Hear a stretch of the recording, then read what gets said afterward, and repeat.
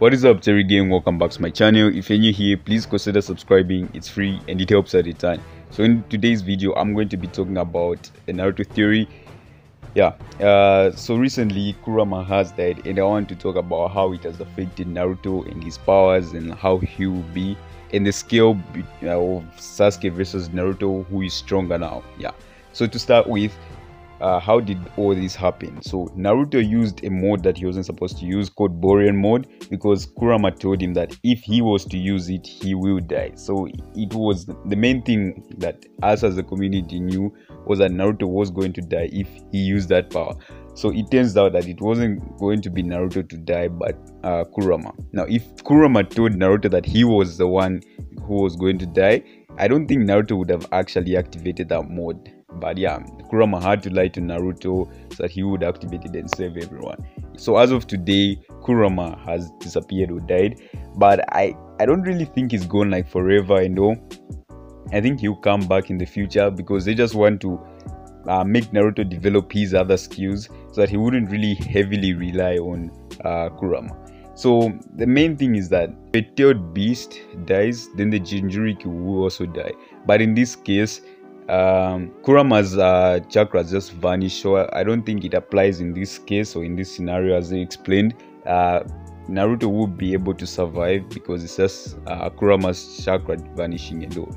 So I I think Naruto has literally become like Gaara right now, and as we saw, like Gaara has really developed his ultimate defense and all.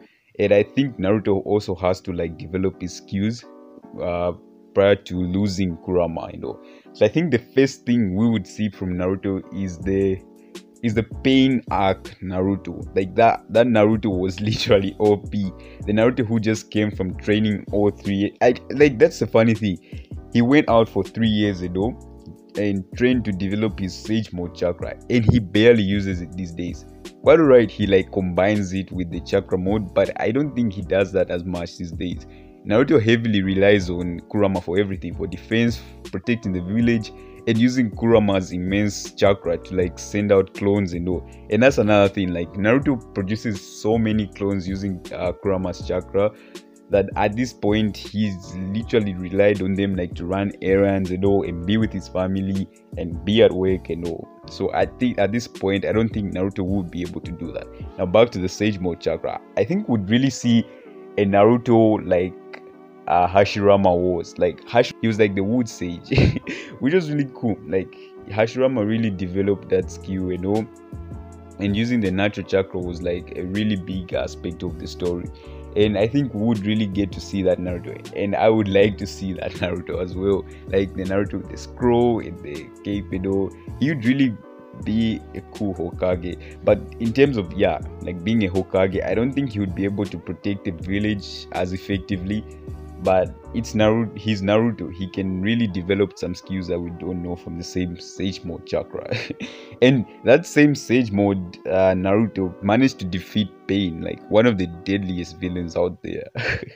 yeah. So the scale of Naruto versus Sasuke, I think at this moment right now, Sasuke is stronger. Although Sasuke lost his Rinnegan, I think I don't know because if Uchiha has like one eye, he's not as strong as he's supposed to be so they're like limits to what he can do right now uh, Sasuke. So I think they're still on the same level because they both lost their immense power.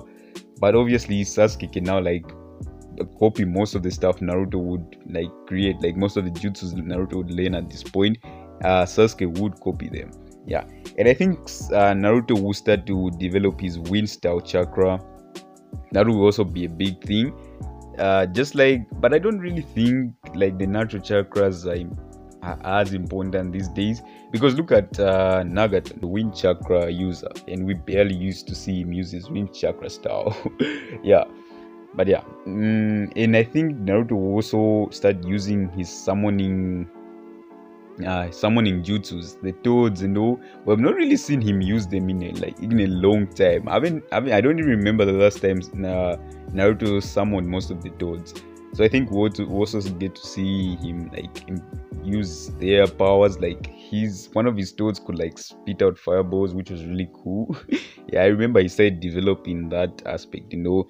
Then just stopped when he learned about chakra mode, and yeah, uh, Kurama disappearing really affected Naruto. He can't be as fast as Light uh, uh, anymore, and he can't have like the extended arms to like help him with the jutsus. And obviously, his fighting range has now been like cut short. He can't like hit from afar. He's not as fast as I've already said which is really bad uh, wild because there are some really strong villains coming out there like code code is the new villain in naruto apparently which is really insane yeah and i really think uh, naruto will start developing like his uzumaki clan jutsus like using the sealing jutsus using all those wild wild jutsus the uzumakis had.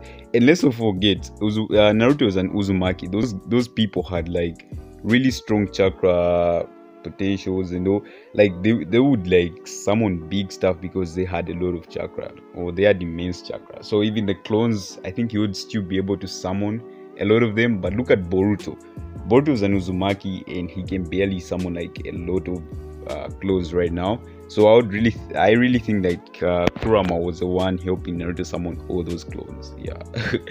So I think we would also get to see a Minato version of Naruto, a Minato and a Sage Mode version of Naruto, like using the whole teleportation and uh, sealing jutsus where he would throw those shurikens and then teleport as quickly. I think we'd really see a yellow flash, uh, the yellow flash come back in Naruto, and that would be just really cool. I can't wait to see like how he would develop. You know, yeah. so leave it, leave a comment below if you agree with most of my theories uh, make sure make sure to like and subscribe if you enjoyed the video and yeah i'll see you next time terry game